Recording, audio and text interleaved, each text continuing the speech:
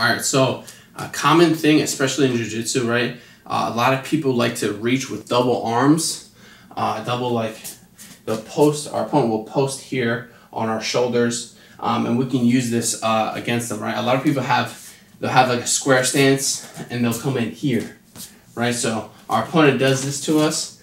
The, when we do this, um, let's say he, he's done this to us a few times, and we've tried snapping. He's too strong to snap, but instead of snapping, we can do uh, things like lowering our level and uh, doing a double Y block here, right?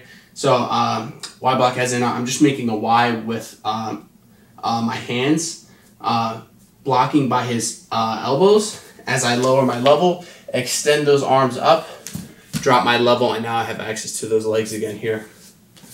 So here, my opponent comes in and he's posting here.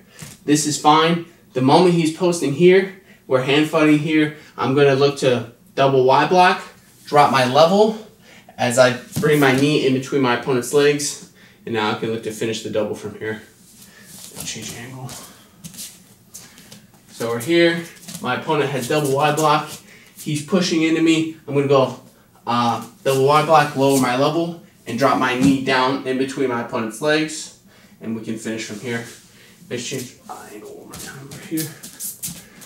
So my opponent posts.